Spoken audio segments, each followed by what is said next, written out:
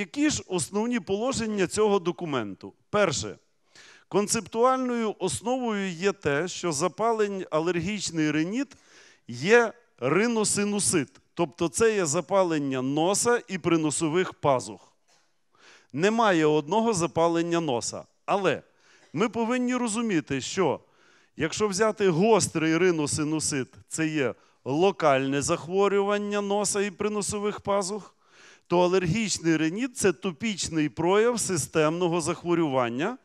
І тому, крім назальних, у нього є іще позаназальні прояви.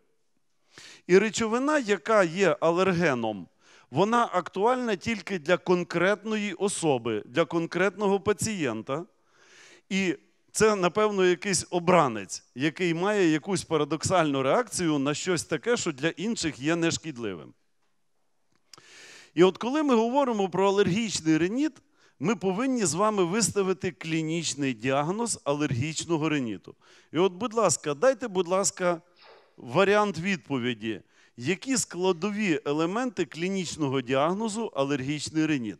Видно добре, то, що написано тут, так? Видно. Будь ласка, включаємо. Машина для голосування включена.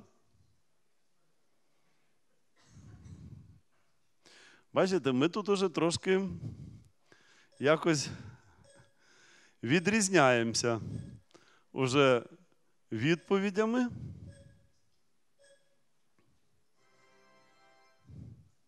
Ну, більшість із вас відповіло, що це скарги анамнезом, риноскопією, лабораторними даними і алерготестуванням, і ви відповіли неправильно.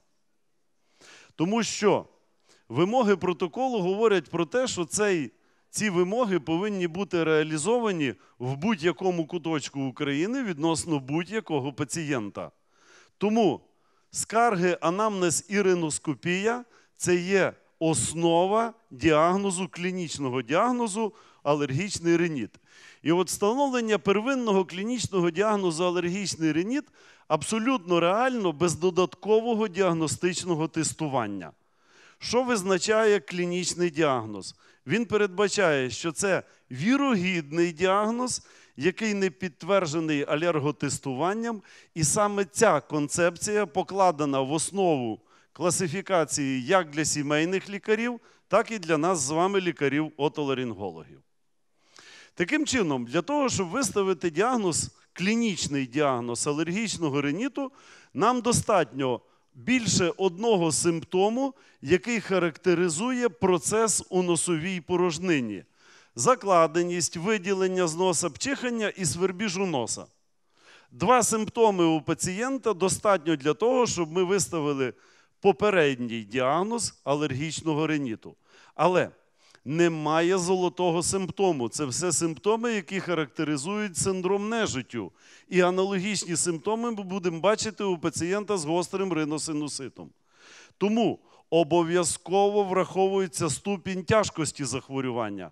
Оскільки, шановні колеги, ми знаємо, що алергічний реніт це системне захворювання. І відповідно, це захворювання порушує якість життя людини.